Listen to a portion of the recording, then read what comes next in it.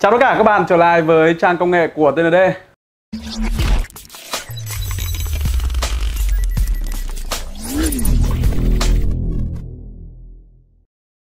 Hôm nay thì mình lại mang đến một siêu phẩm lần đầu tiên có mặt tại thị trường Việt Nam. Đó là chiếc HP Envy Picture X360.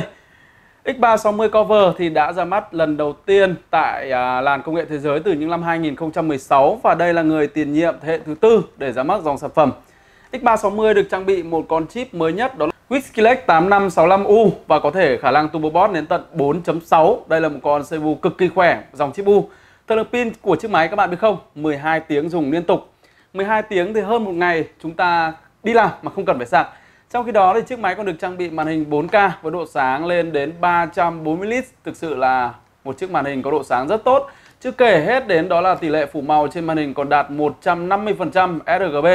Trong khi đó tỷ lệ phủ màu cao này thì sẽ hỗ trợ cho các bạn mà kiểu già như thích à, xem phim, làm ảnh mà yêu cầu một chiếc màn hình sắc led trung thực thì đây là một sản phẩm cực kỳ ưu ái. Đặc biệt máy có thiết kế mới lạ hoàn toàn so với phiên bản người tiền nhiệm cũ. Trong khi đó trọng lượng máy nó chỉ có 1,32 kg. Và bây giờ hãy cùng mình đập hộp dòng sản phẩm này.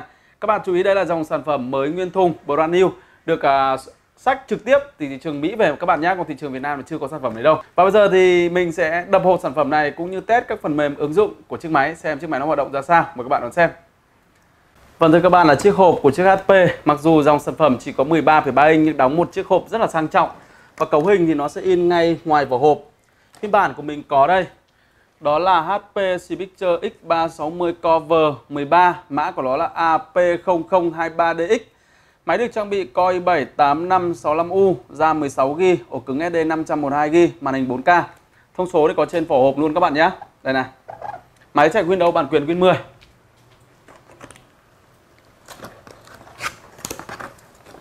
Ai chà, bên trong đóng đẹp lắm các bạn ạ. Rất sang trọng Quên mất chưa nói với các bạn chiếc máy này hiện có giá bán tại thị trường Việt Nam đâu đó khoảng 40 triệu các bạn nhé. Bên trong còn được HP tặng kèm hẳn một cái bao da xịn này. Tuyệt vời. Xem trước còn bao da chứ xem có ngon không nào. Ôi nguyên sale các bạn ạ. tôi cứ mở ra cho mọi người xem nhé. Hy sinh một chiếc máy trước để cho mọi người biết sản phẩm của HP nó đẳng cấp như thế nào. Dòng sản phẩm này để cạnh tranh trực tiếp với MacBook và Dell XPS 9380 Ôi cái bao da nhìn đẹp phết này các bạn này, logo này. Được cái là trình hãng làm rất là đẹp.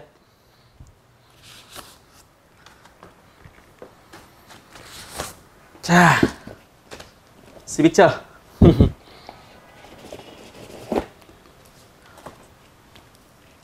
Sách hướng dẫn sử dụng. Đúng là dòng sản phẩm đẳng cấp của khác. Đẹp thật đấy.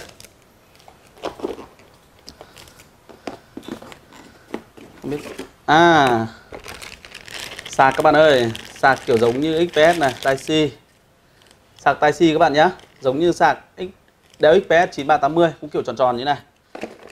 Cáp này. Một chiếc bút để hỗ trợ chúng ta cảm ứng trên màn hình, bởi vì màn hình 4K có cảm ứng này. Mình sẽ bóc luôn cho các bạn cái bút này.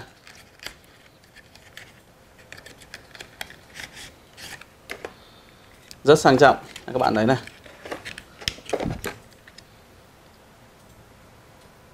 Kèm thêm một quả pin. Tạm thời chúng ta sẽ để vào đây.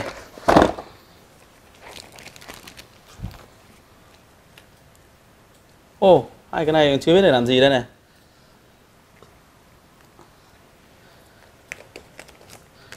đẹp đẳng cấp các bạn ạ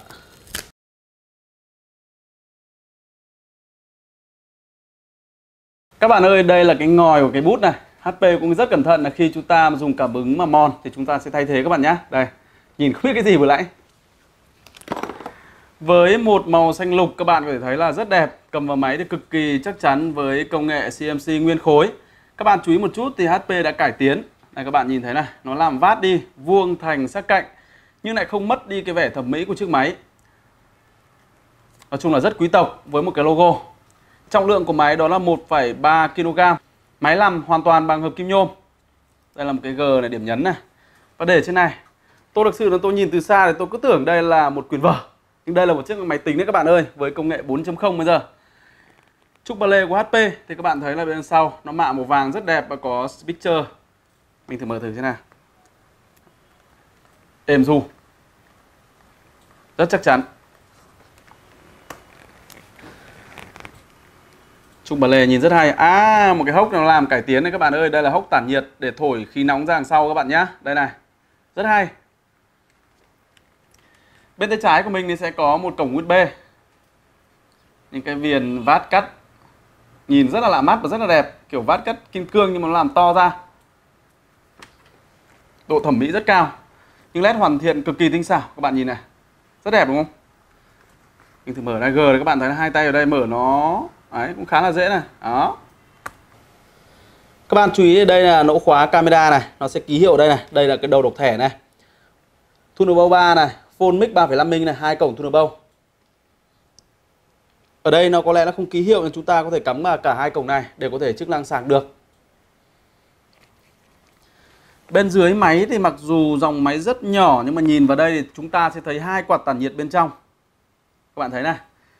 Như cái dòng máy gaming luôn, chắc chắn là chiếc máy sẽ có tản nhiệt rất mát và những hình ô vuông này sẽ hút không khí ở bên trong và thổi khí nóng ra ngoài ở đây. Và hai cái hốc nhỏ này, loa này, những cái viền cao su này để chúng ta để trên mặt phẳng không bị cập kênh. Và một chi tiết rất nhỏ đó là tất cả thông tin của chiếc máy thì nó được in trực tiếp nổi trên bề mặt nhôm ở đây. Nhìn hơi bé các bạn ạ, camera chắc không nhìn rõ.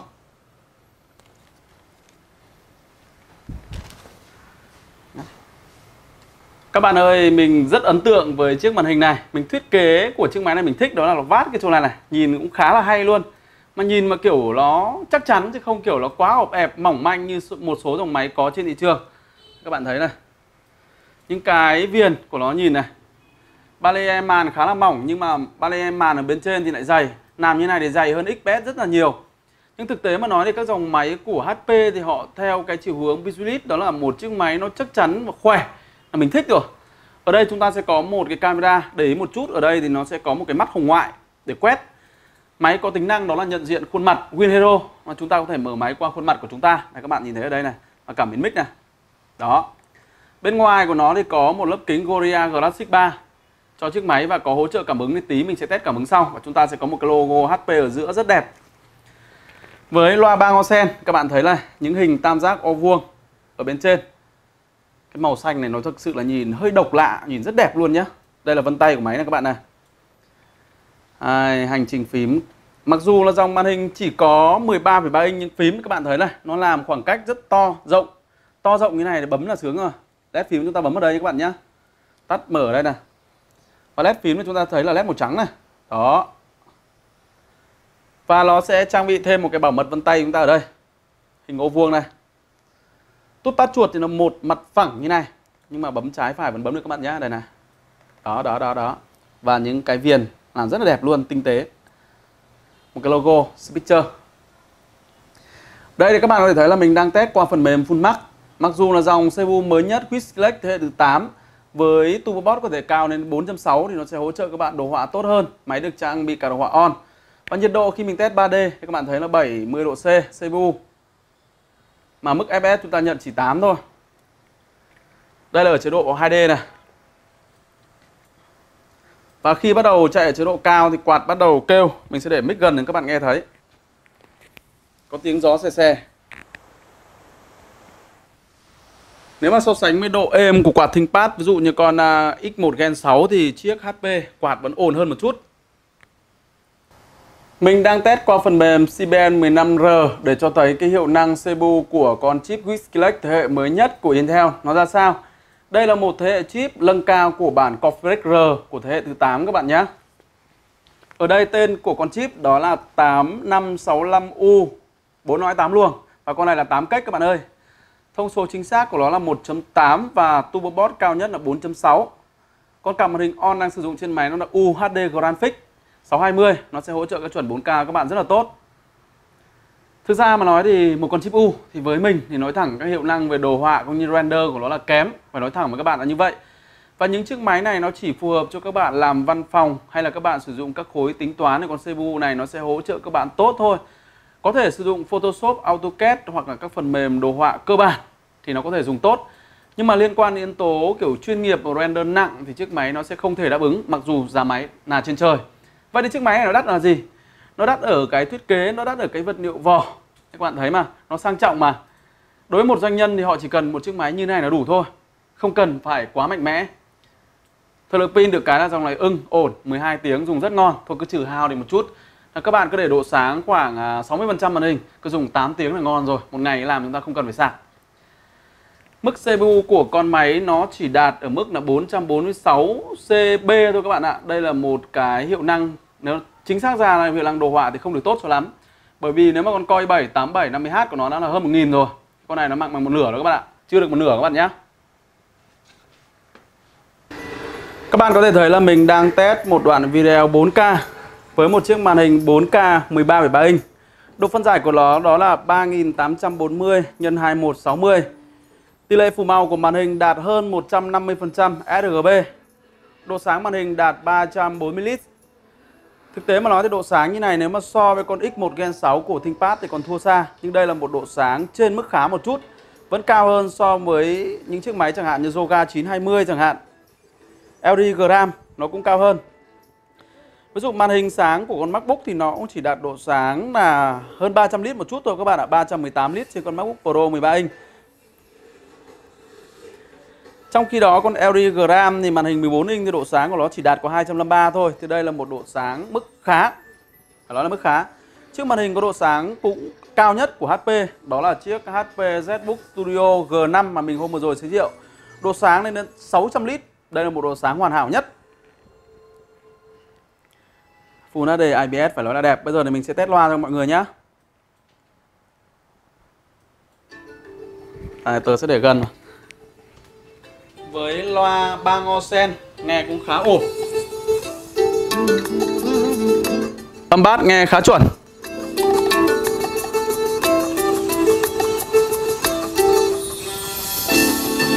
Đấy, nghe khá hay đúng không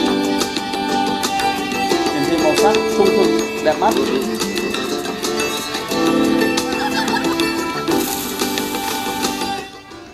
Âm lượng trong cái phòng 25 m vuông của mình vừa đủ nghe, mặc dù không to cho lắm.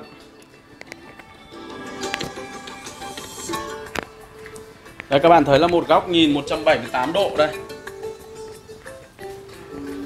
Chúng ta hoàn toàn vẫn có thể nhìn trên màn hình. Một chiếc máy X360 nó tiện dụng nhất đó là khi chúng ta để trên bàn như này. Khi đi làm về mệt mỏi thì chúng ta có thể bật những đoạn phim Full HD 4K để xem trên một chiếc màn hình siêu LED như này Quả thực sự là tuyệt vời Và mình sẽ thử test cái tính năng màn hình cảm ứng xem là sao Với hỗ trợ cảm ứng 10 ngón với một cái kính Gorilla Classic 3 các bạn có thể thấy là nhìn vào màn hình nó rất là trong trẻo luôn.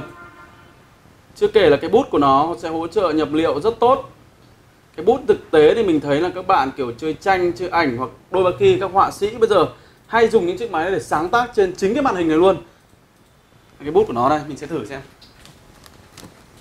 Bút thì mình nói thật là mình chưa lắp pin đâu, các bạn nhìn thấy này. Ta có thể dùng để vẽ rất là ok còn ở đây thì mình dùng tay cho nó nhanh bởi vì đây mình chỉ test cái màn hình thôi cảm ứng như này thì quá ok rồi các bạn nhé cảm ứng 10 ngón mà sẽ hỗ trợ các bạn như trên iPhone, iPad các bạn dùng luôn rất nhanh Máy được sử dụng cái công nghệ Wi-Fi kép đó là công nghệ Wi-Fi AC và cái tốc độ truyền tải mạng của nó rất là nhanh các bạn nhé Vâng thưa các bạn, là sau khi mình trên tay dòng sản phẩm HP Picture X360 Cover phiên bản 2019 thì tớ đưa ra đánh giá như này. Đầu tiên, đó là một cái thiết kế thì mình nói đây là một cái thiết kế đúng ra mới hoàn toàn thì không đúng, nhưng mà cái điểm nhấn thì HP đã làm quá tốt. Mình cầm vào chiếc máy thì đầu tiên đó là mình thấy cái sự chắc chắn. À, cầm như này, trọng lượng chỉ có 1,32 kg vừa đủ dùng cho chúng ta. Thực tế mà nói thì kể cả khi mình cầm một tay à, mình cầm một tay này thì cũng khá thoải mái. Như này. Không không ờ, nó rất là chắc. Đây như này. Thiết kế thì các bạn có thể thấy là những chi tiết này mình nói luôn. Chiếc máy này nó những cái chi tiết hoàn thiện của nó quá tinh xảo mà nó rất là đẹp. Cái điểm vát cạnh này rất là hay và khi test thực tế thì khi hoạt động ở chế độ cao một chút thì quạt của máy hơi ồn và cái nhiệt độ thân vỏ có thể nóng ở mùa hè này, mình nói luôn toát cả mồ hôi luôn mà mình sờ bằng cái nhiệt độ thân vỏ khi mình test vào máy thì nó nóng khoảng 45 độ C và nó hơi ấm ấm một chút các bạn ạ. Âm thanh của máy trong một cái phòng 25 mét vuông của mình nghe ở đây khá được. Và khi test cái thời lượng pin thực tế thì thông số của nhà sản xuất sẽ cho chúng ta sáng 60% màn hình, khoảng dùng được 12 tiếng. Nhưng khi mình test thực tế thì chưa có tính năng test hết, nhưng mà nhìn vào đây thì cũng có thể cho thấy là chiếc máy nó có trụ được khoảng 8 đến khoảng 9 tiếng. Một ngày chúng ta làm đâu cần phải sạc. Tốc độ cổ cứng thì với à, 4,7 g trong khoảng 10 giây. Có nghĩa là tốc độ đọc mình thấy như này là nhanh rồi. Bởi vì với cái tốc độ ổ cứng NVMe PCIe Gen 4 thì một tốc độ ổ cứng khủng. Và chiếc máy này duy nhất bên trong máy chỉ có cho phép chúng ta nâng cấp ổ cứng thôi. RAM và CPU, GPU. GPU các bạn biết là chiếc máy nó chạy cả đồ họa on, chính vì thế nó dán chết trên bo mạch chủ. Chúng ta sẽ không có khả năng nâng cấp, nó chỉ nâng cấp ổ cứng thôi các bạn nhé. Dung lượng ổ cứng thì trên thị trường nó sẽ có 256, 512 GB và 1 TB là chúng ta sẽ nâng cấp được chiếc máy này. Ưu điểm nữa trên máy đó là với cái camera nhận diện khuôn mặt qua cái quét hồng ngoại của nó rất là hay và rất là chính xác. Bảo mật vân tay. Về phần bảo mật thì chiếc máy này rất là ok rồi. Bảo mật loa bấm tay. Có điểm duy nhất là mình thấy hơi bất tiện một chút đó là không để ý thì cái phím bật nguồn nó lại ở đây. Thiết kế rất lạ luôn, phím bật nguồn chỗ này các bạn nhé. Với giao tiếp cổng thu Thunderbolt và có giao tiếp Type-C và chúng ta có thể vừa cắm sạc và có thể cắm qua eGPU bên ngoài, cắm ra màn hình 4K để chúng ta kết nối ra một chiếc màn hình rộng lớn hơn chẳng hạn thì chiếc máy nó hoàn toàn đáp ứng được. Duy cái điểm yếu của nó đó là cái giá thành trên thị trường thì mình thấy nó hơi đắt đỏ, 40 củ. 40 củ thì các bạn sẽ thấy là so sánh thì sẽ mua được rất nhiều máy trên thị trường nào là gaming, nào là đồ họa. Nhưng đối với một doanh nhân thì chúng ta chỉ cần như này thôi. Và một cái nhược điểm nữa đó là khi tay mồ hôi mùa hè. Đấy, mình sờ trên cái mặt lưng nhôm của nó thì có vẻ là hơi bám chút mồ hôi. Các bạn thấy này. Đó. Còn ưu và nhược điểm thì mình cũng nói rồi nhược điểm của nó nữa là đắt thì các bạn thấy đấy 40 triệu cho chiếc máy như thế này. Trong khi đó thì 40 triệu này các bạn mà chơi game mà làm đồ họa là chiếc máy này nó sẽ không phù hợp. Và việc duy nhất trên chiếc máy này nó phù hợp là những người mà làm à, đồ họa văn phòng lập trình viên hay là các bạn chạy các ứng dụng đồ họa ở mức vừa phải bình thường thì chúng ta dùng chiếc máy này là hợp lý và các bạn sẽ hỏi mình là với một con cấu hình chip U RAM 16GB như này thì chúng ta sẽ sử dụng được những gì? Với 16GB RAM thì mình đã thử test mở thử 20 tab web trên máy thì máy chạy hoạt hoàn toàn mượt mà cũng như một số ứng dụng đồ họa ví dụ như là Photoshop mình có thể để ở nhẹ một chút, AutoCAD hoặc ngoài ra có thể để thêm một số phần mềm khác thì máy vẫn chạy khá là ok. Chú ý các bạn thì với con cấu hình như này thì chúng ta nếu mà muốn chơi game thì có thể chơi các tựa game ở mức tầm trung ví dụ như là Liên minh huyền thoại ở Việt Nam hay là những cái ứng dụng game mà nó không yêu cầu tính kỹ xảo cao. Còn nếu mà các bạn thích bắn bản PUBG thì uh, chiếc máy này chỉ có thể dùng bản mobile giả lập để chơi thôi các bạn nhé với RAM 16GB và con chip Skillex thế hệ mới nhất thì những cái phần mềm đồ họa ví dụ như Photoshop, AutoCAD cũng như những cái phần mềm lập trình các phần mềm kiểu chung chung mà không yêu cầu cả màn hình rời thì chiếc máy nó hoạt động hoàn toàn đáp ứng tốt cho các bạn các bạn nhé còn riêng với anh em chơi game hay làm đồ họa chuyên nghiệp thì chiếc máy nó sẽ không đáp ứng tốt nếu mà những cái game mà yêu cầu tính kỹ xảo cao với hoạt động cao bởi vì con chip U này, hiệu năng của nó chỉ bằng một lửa so với chip H thế hệ mới. Ví dụ như con Core i7 8750H nó chỉ bằng một lửa thôi các bạn ạ. Với một con cảm màn hình on thì các bạn thấy là khi chạy full max thì nó chỉ nhận được mức 8 fps thôi.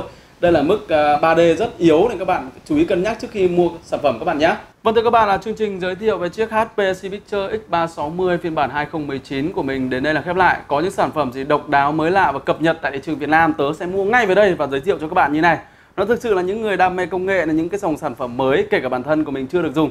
Nhưng cứ sờ vào đây là mình cảm thấy sướng rồi. Và được khoe mẽ trên mạng xã hội là các bạn sẽ xem ừ chiếc máy này có phù hợp với mình hay không, có hay hay không. Thì lúc đó chúng ta sẽ đưa ra nhận định để chúng ta mua chiếc máy này. Còn với một chiếc máy như này thì mình nói luôn, các bạn có thể đi làm văn phòng tiếp khách của nó cầm này. Rất sang và rất giống doanh nhân. Và bây giờ chương trình của mình xin là khép lại. Xin chào tạm biệt anh em.